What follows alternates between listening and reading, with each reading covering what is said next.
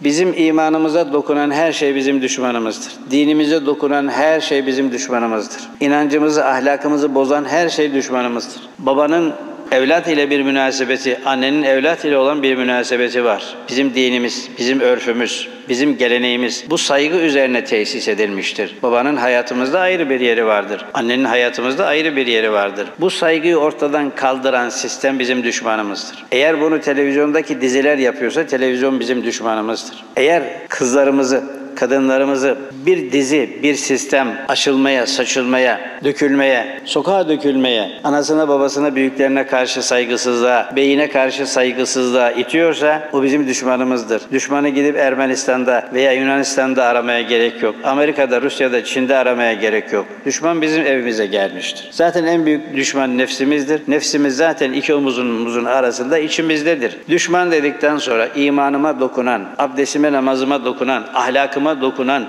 dini değerlerime dokunan neyse dizidir, telefondur, efendim internettir, Instagram'dır neyse benim düşmanımdır. Ona göre tedbir almak lazım. Rabbim düşmanlarımızı şerrinden cümlemizi ve nesillerimizi emin eylesin.